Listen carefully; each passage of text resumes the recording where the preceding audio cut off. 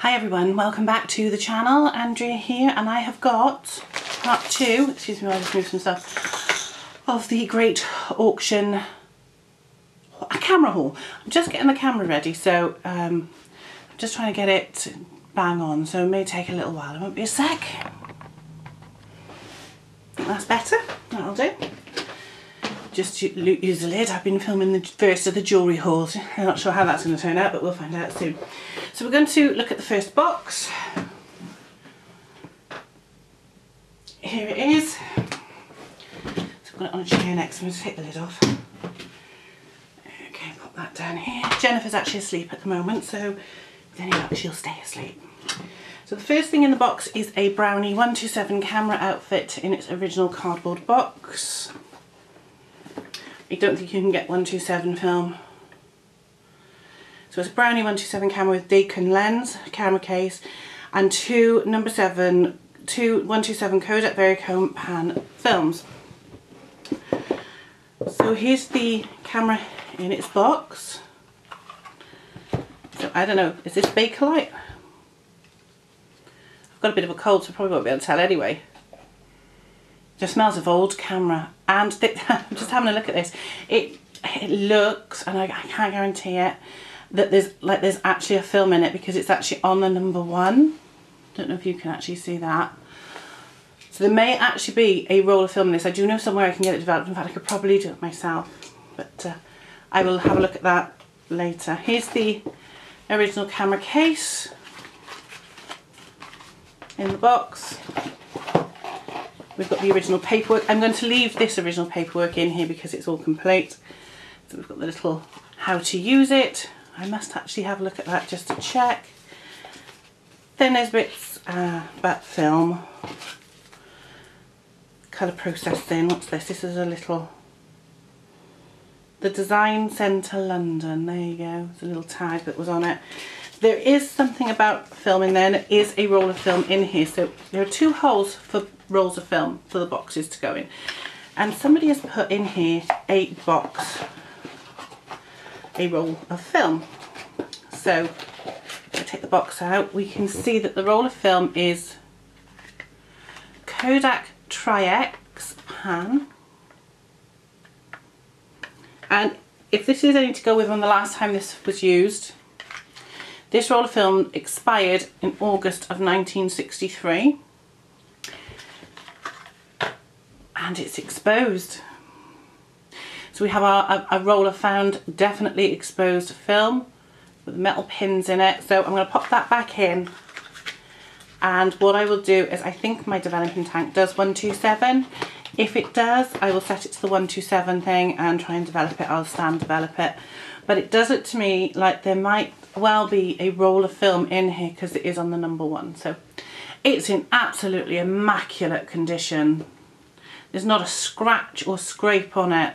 I don't think this camera was used very often at all. So I'm going to have a look at that one and uh, see how that works. At least there is the instruction manual in it. Somebody really cared for this camera. It was probably a Christmas or birthday gift and they probably used it once or twice. So I'm looking forward to seeing what's on the, that roll of film. As I've got a cold, I'm drinking vitamin C. I am drinking my, uh, oh dear, juice. So the next one is in one of these Terra Plasticky Ever Ready cases. So there's the case. There's the back. It's Kodak. It is a Kodak camera. It is a Kodak Brownie 44A. Now again, this is on the number 12, so I think there might be a roll of film in it. I don't know how you, I do know how you open it, so. Says pull down but it's very stiff so I will look at that later. I will give you an update on all these cameras and if there are rolls of films in them and if I get them developed what they are. So it's a Dakon lens mount 320, a Brownie 44A camera with its original case which you can take out Kodak and it was it's one that was, was made in England it says on the back made in, in, in England London by Kodak so there you go. There's that one.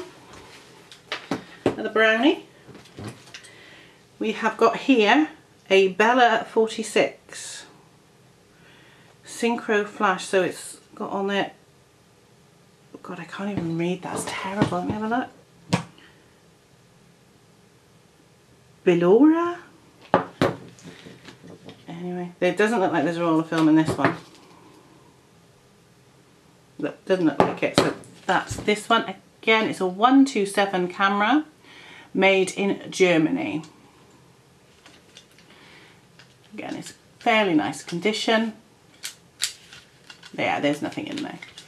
There we go, there's the back. Oh, it's got part of an ever ready case on it because some of these cases were broken so I don't know there might be another one it'll fit in there and I can take it out and have a look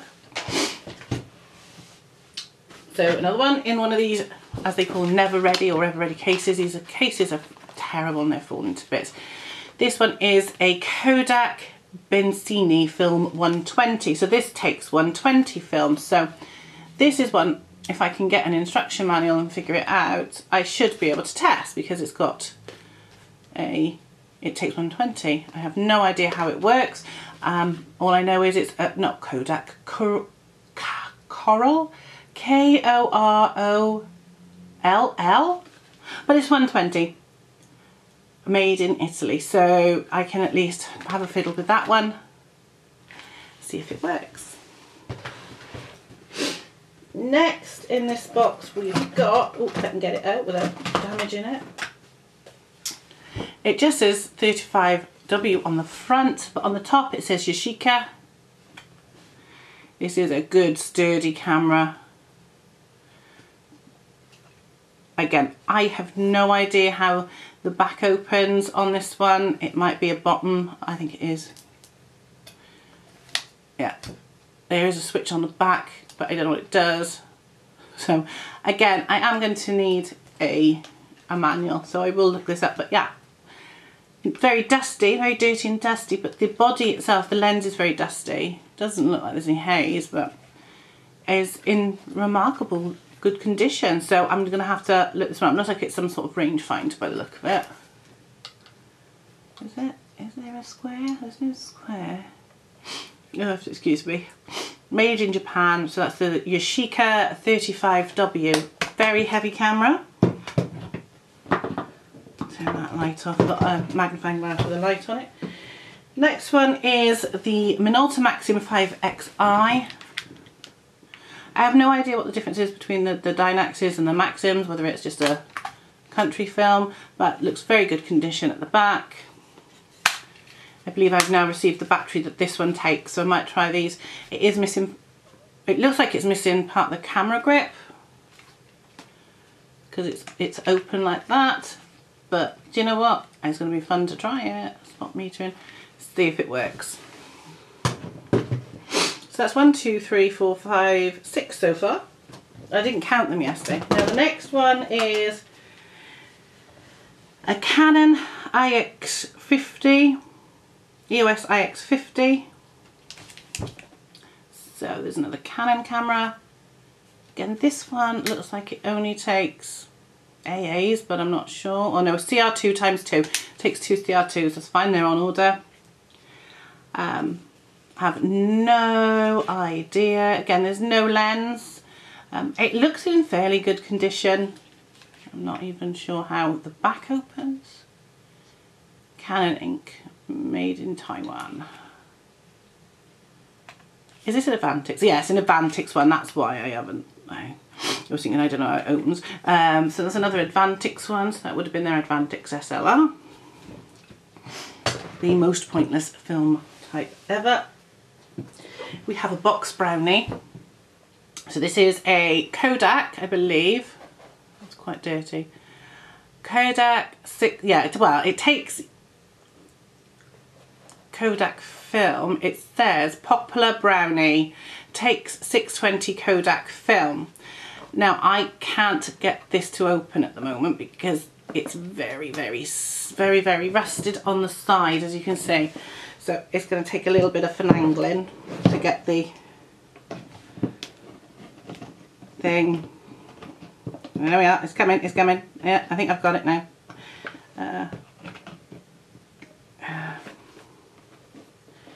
thing off so it, it will come out. I just can't get the, yeah a bit more, it should go a bit more. It's pretty stuck. Oh, it's coming. Of course it's, yeah, I'm not actually sure how this would come apart because it's got,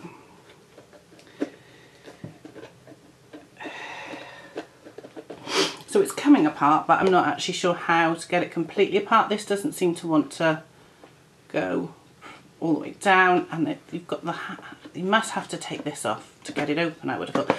I'll fiddle with that later. There's a very old 620 Kodak or a brownie that takes Kodak film. It looks like a Kodak brownie, but until I get into it, I'm not going to know. But again, I will be updating you on these cameras as and when I find out whether they're working or any further information. I have a random Nikon strap, so if anybody needs one, I have a Nikon strap for you. Just keeping an eye on Jennifer, but she's, she's sound asleep. It's another one of these cases, very plasticky, very grey. So this is a Kodak Bantam Colour Snap. Now I'm not sure what size film I, this takes, probably 127 or something like 620 until I, like I said, I need to research into these. There's a light settings, um, a colour snap camera, instruction reminder card for colour shots, for colour snapshots in daylight, or with blue flash bulbs, use Kodachrome film K828. Oh, is it 828? Yeah, film size 828. Never seen a film size 8 to 8 camera, that's interesting.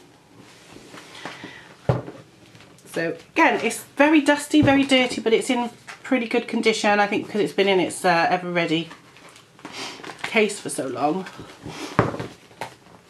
Just getting them back in afterwards. So, like I said, a lot of these cameras, I'll sort that out after, have been taken out of their cases and I've got a bag full to sort them out. The dust probably isn't helping my nose. We have a little camera bag here with a compact with some description in it. So this is a Miranda autofocus solar. So it's very, very plasticky thing. No batteries in it. Battery compartment looks nice and clean. Um, takes double A's. Back opens nice and easy. So it's just your basic compact. I will close it. So open, open, close. Um, yeah, so again, it's one of the things I'm going to have to pop the uh, a battery in and test it. What I will do is a follow-up video showing you or advising you with pictures which ones of these still work because I probably will get rid of some of them. We have another Minolta. We have a Dynax 300 SI. Body only again. No film in that one. Again, I need to try and uh, the battery's here for that one I think. It's the same as that goes in all the other ones. Pretty much try and get that tested, see if it powers up and then find the lens and get some body caps for them. Next we have a little dinky tiny thing. Look at this. So this is an Italian camera. It's a Bencini Comet made in Italy, Milano. I know nothing about this. In fact, it doesn't even look like the front moves at all. Shutter fires. I don't know how you get it. Oh, I do know how you get it open. You get it open like that. The shutter works great, but it looks like and that that winds. Not actually sure what size of film that is. Oh, there's a spool in, so I'd say it's probably something like 620. No, smaller 127 possibly. Is a spool. That's so cool. But I will have a look at that. Just because I find these things fascinating, but I think it's a 620. And now I can't get the spool back in, which is typical. Front that in first. So somebody set it up ready to use again by the look of it because It's in the winding side. I'm going to have to take it. I don't know what to do with it. Can I put it in this side?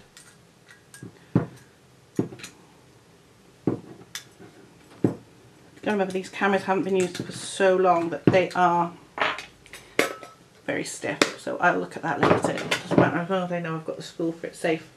Let me put that one back in its bag. Anything in the front? Oh, somebody left me a... Oh, there's something in here. Hang on. There's a wad of tissue. Oh, there's a couple of Duracell batteries in there. So they sensibly took them out of the camera but didn't put them... Yeah. So I'm going to put those into my bag of batteries to go to the waste transfer station next time we go up there with some waste. We have a Hanimex lens cap. We might have a Hanimex lens. We've got a lot of lenses, they're just not in this box. They're in the next one. Now this is uh, quite a nice one. This is heavy. Well, in ever ready case. I'm just going to take that off because that's doing my head in. Bit of paper. This is a Praktica MTL 5B. This one's actually got the lens on it, which is great. It's missing the shutter button at the top. Oh no, it's not, it's there. Oh, I like that. So that looks pretty nice. Obviously I've got lens cap on so I can't see myself. Yeah, that's it. Now this does take batteries because there's a meter in it. So obviously I would have to take it out of the camera case to put the, have a look at the batteries. Let's just take it out and have a quick look. It's quite, this is heavy duty camera mind. It's got a Pentacon lens on it. Is that out yet? That's the only thing with these. They take forever. I've actually got a Rolleiflex and I've taken out... Where's my five pence piece gone? I've done it again. Put everything all down and I've got to put my five pence piece on. Where's that? There it is. Um, I forgot what I was saying now. Here we go. Button cells and they are in there. Well, there's one in there. So I'm going to take that out. I've got button cells and I'm not going to try it now, but I'm going to put it in the recycling thing. There we go. And we'll, we will test the light meter later. Of course, if the light meter doesn't work, if that's the only thing that's powered, it doesn't really matter because you can actually use the um, right, nothing inside, that's good. So there's the inside, it looks very, very clean, which is always a good thing. So yes, you can always use a light meter rather than that. So it goes from 8 up to 1 1000 a second. We know it fires off. Does it fire off properly? Are they different? Just put it on bulb. Yeah, that sounds right. Oh, that one I haven't wound it on. Oh, stupid woman. Yeah, that sounds alright. Sounds okay. I cannot get used to it being here because you've got that there, that's depth of field thing I think. But yeah, I like that one. That's really nice. So I'm going to enjoy testing all these. I'm going to sort myself out some colour kebs. I'm just going to pop that there. I'm not going to screw it back in. a bit of a, um, and run 24. I got some 24 exposures. Because I'm still testing that first one.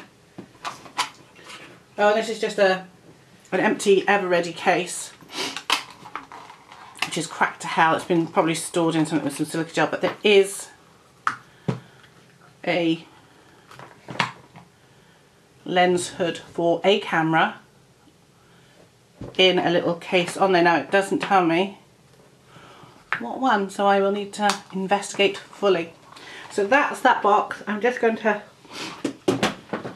oh, excuse me, pop the cameras back in.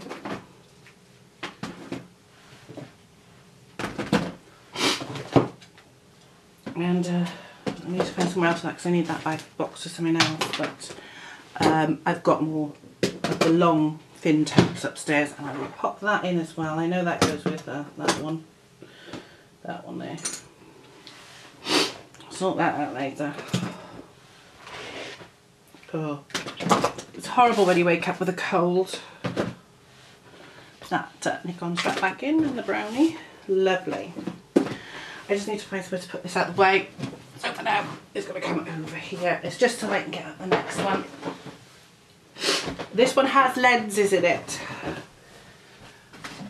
So if I can, oh my god, it weighs a ton, I'm not gonna lie, it's very, very heavy. It does weigh, it's very heavy.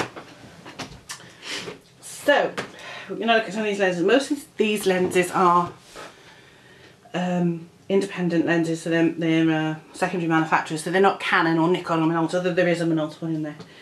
So the first one I have doesn't have a end back, but it does have the front cap, and it's by Mirage. How you get the front cap off, I don't know. I'm afraid of breaking it, so I'll have a look at that. Again, I have no idea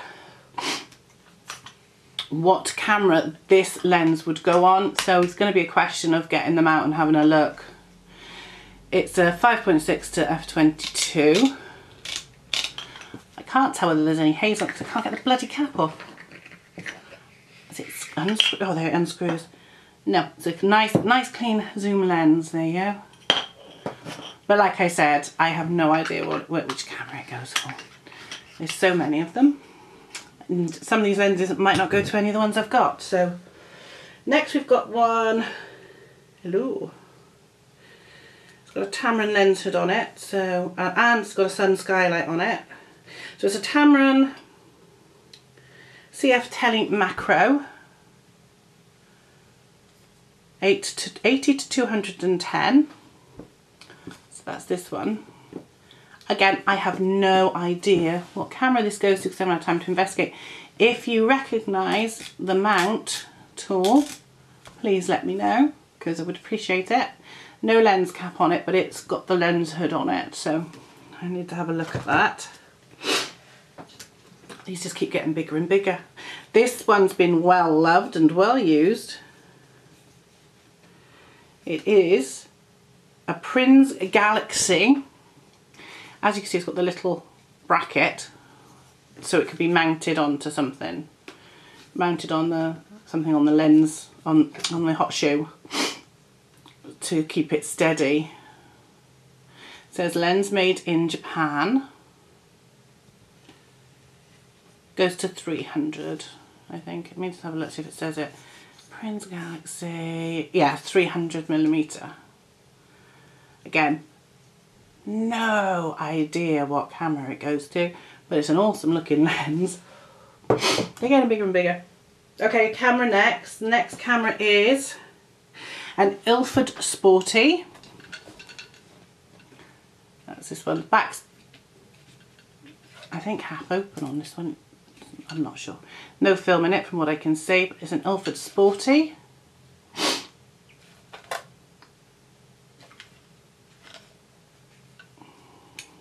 Hard to tell whether it works. Well, the shutter fires. Can we see it? Uh, can't see it, but so that's that one. So there's going to be a lot of cleaning and a lot of looking into things. A flash, this is a Boots Photo Flash 24. With its sync cable. No batteries, I believe. At least I hope. I think I checked. No, no batteries in it. It takes a lot. I think it takes six double A's, which is a lot of batteries. Another Minolta body. This is another Dynax 3000i. Again with that same strange wear on the, the grip. Um, this one's got a bit of stuff on. I, I thought it was a scratch, but it's not. It's actually something stuck on the, the LCD. So there's a lot of these Minoltas in here. Oh, I'm feeling really rough. So next lens is an Asahi Pentax. Let me just have a look. It's a one. Let me have a look at it. I'm not very good at this. Uh, 1.425 uh, lens. It's quite nice. Blades move, move okay from what I can see. Yeah. We have got the back on it as well, which is nice. There we go, there's the back. Right, I will be stopping soon because we're already at 24 minutes. I'm going to get it to 30 and then that'll do for this one. And I'll be putting that in a different box. Right, there we go. And then who knows where to go next? the lens hood for a Minolta, funnily enough, for a Minolta. Probably came off the Minolta lens. Um, that goes in there. So this is a Miranda lens for a Miranda camera. Lens made in Japan.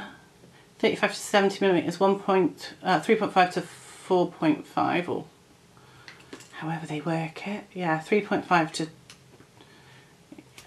that's it. Moves fine, needs a clean. It's just a lens. I'm so tired of sniffing. I really am. Another lens, and it's another Miranda lens. This is in a fluffy case, which has been, I think, made um, out of a tin can and cardboard because on the side it's got Heineken in it. So, you know, so I think this is a handmade lens carrier. So it's a Miranda. This one's uh, 2.8. So yeah, 2.8 to 22. Looks nice. Yeah, blades move fine. There we go. Pop that back in there for now. Miranda, another Miranda lens. Oops. Yeah, it's not got a flat bottom, so it won't stand up properly. We have a Hanimex lens for, I have no idea what kind of camera. Looks quite modern. Uh, oh, a Pentacon, actually a Prakticar. So I think it's just a Hanimex lens cap on it. 4 to 5.6. Yeah, 4 up to 22, or down to 22. But that's okay. Yeah. A bit sticky, there we go. But that, that's working okay. I think it's just they put Hanimex lens cap on it because they didn't have the correct one. But it fits so it protects it. But again, I have no idea what camera it goes to. Um, yeah. Another lens. This is a Mitakon Auto. Auto Mitakon cam uh, lens. 1.28. 28 millimeter. Nice. Yeah. Again, I have no idea what camera this goes to. I need to do some serious research into these. Should we have another camera or should we have another lens? There's lots of lenses still to come, so we'll grab this lens. Again, this looks like a modern one because it's got a springy cap on it. There you go. MD on the bottom. So again, this is a Mitakon MC Zoom from some sort of camera system. So somebody had some of these for, oh, I say, oh, stiff whichever camera system it was and I need to figure it out. I have absolutely no idea. Terrible. Yeah. it is, it's terrible because I have no idea. And last but not least, what should we do? We have a Minolta lens. Uh, this is a 35 to 80 AF zoom I think this goes with the camera. We've got one, a body that colour in the one of the camera bags and I think that one goes with that. Um, so yeah. So, yeah. Dinky little lens. I hope it does because if it does, it means I can test that. So although I've still got a lot to do, I am There is a sort of a thing here, which is a sort of like another one of those plug sockety things for non-earth appliances marked only. American Australian converter. I've got those. And I think this is a, I think another lens, but I think this is broken because it doesn't have anything on it at all other than so part of it's there and part of it's not, or it's a teleconverter. I'm not actually sure. I think there is one of those in there. Um, Yeah, so that stopped automatically for some reason. I think it's because we hit 30 minutes, so I am going to leave it there. So it's just this thing that I think might be a teleconverter or an extension tube. I'm not sure. I am going to have to have a look in it, look at it, uh, and see what I can figure out. So there's lots more of this stuff to come. So that's that's part two of the great camera haul, auction haul of 2018 probably the only camera haul of 2018 but um, yeah if you know what any of these lenses are for which cameras, please, please do let me know because it would be a great help. Or if you've got any ideas how I can find out other than by trying to mount them on bodies and breaking them cameras, that would be great. Obviously I know the Minolta one goes with a Minolta camera and there is a Minolta camera in there so I'm assuming it goes with that one.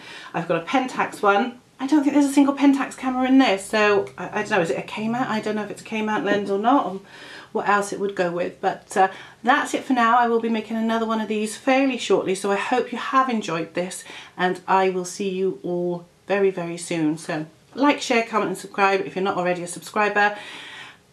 And I'll be back with more cameras very, very soon. So goodbye everybody. Bye.